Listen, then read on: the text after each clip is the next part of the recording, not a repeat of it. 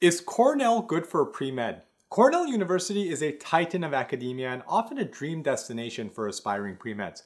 With its rich history and prestigious reputation, it offers a wide range of courses and experiences as diverse as its student body. Its founding principle, any person, any study, emphasizes that anyone, regardless of their background, should have the opportunity to pursue interests in any area. But while Cornell's commitment to inclusivity, inquiry, and opportunity among students from all walks of life is well known, are Cornell's offerings actually beneficial for getting into medical school?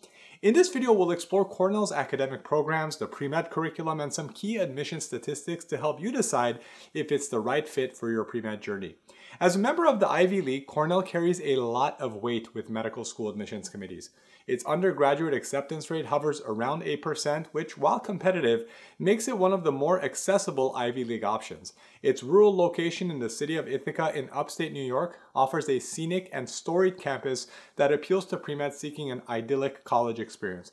While it's true that each year's cohort tends to be slightly larger than at schools like Harvard or Yale, Cornell's 9 to 1 student to faculty ratio reflects its commitment to maintaining a supportive academic environment you'll still receive plenty of personalized attention as a pre-med student.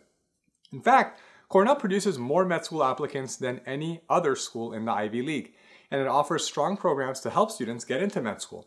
Like most schools, there isn't a specific pre-med major, but all pre-med students must complete challenging prerequisite courses in subjects like biology, chemistry, organic chemistry, physics, and math, no matter which major they choose. When you're on Cornell's pre-med track, it's not just about knocking out your med school prerequisites. You'll also have some core courses to tackle, and these can differ depending on which college you're in at Cornell. For instance, if you're part of the College of Arts and Sciences, you'll need to complete what they call distribution requirements. This means you'll be taking a mix of courses from different areas like physical and biological sciences, social sciences, and even arts, literature, and culture. The good news? You've got some flexibility in picking the courses to satisfy these requirements, and sometimes your med school prerequisites will qualify. This approach reflects Cornell's dedication to an interdisciplinary education, giving you a well-rounded experience that's sure to catch the eye of medical school admissions committees. Not only are you preparing for med school, but you're also broadening your horizons along the way.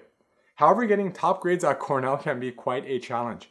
The grading system follows a traditional 4.0 scale, but Cornell is known for strict grading policies. For instance, the Dyson School of Applied Economics and Management limits the number of A pluses awarded in a class to just the top 5% of students. And while average GPAs have risen over the years, grade inflation is far from rampant here. Among pre-med prerequisite courses, grades tend to hover around the BB plus range, which can make achieving a 3.8 to 4.0 tricky. Cornell students are a motivated and competitive bunch, so standing out in your classes may require more effort than at other universities. If you're worried about maintaining a high GPA, there's an option to take some courses for a satisfactory or unsatisfactory mark. Although you won't want to take this approach with prerequisites or other core curriculum courses, it can be particularly helpful if exploring new interests outside your major without a slightly lower grade negatively impacting your chances of getting into med school. Instead, demonstrating this curiosity and intellectual diversity can work to your advantage on med school applications, Keep in mind that policies around SU grades can vary depending on which Cornell college you belong to, so be sure to check this before registering. When it comes to extracurricular activities, Cornell has plenty to offer pre-meds. The university is widely recognized for its strong research initiatives. Through organizations like the Cornell Undergraduate Research Board, students can connect with faculty on innovative research projects.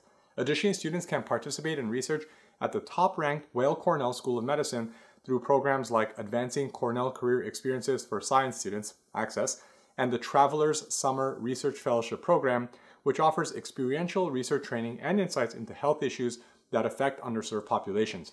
Keep in mind that Weill Cornell is located in New York City, about four hours from Ithaca, so it will be challenging to gain shadowing or volunteering experiences there during the academic year. However, Cornell fosters local partnerships with hospitals like Cayuga Medical Center or the Ithaca Free Clinic to offer pre-meds valuable hands-on experience right in Ithaca. Additionally, there are numerous student organizations dedicated to health professions where you can refine your skills and explore interests. Groups like the Cornell Pre-Medical Society and Pre-Professional Health Association offer great networking opportunities alongside the over 1,400 other student organizations. As you prepare your medical school applications at Cornell, you'll work with the Health Professions Advising Center, HPAC. They'll provide assistance and access to workshops on writing personal statements and interview prep. One key component is the Cornell Letter Packet, Cornell's committee letter. This includes a cover letter that introduces you and discusses the achievements of all Cornell pre-meds, and two to five letters of recommendation of your choosing.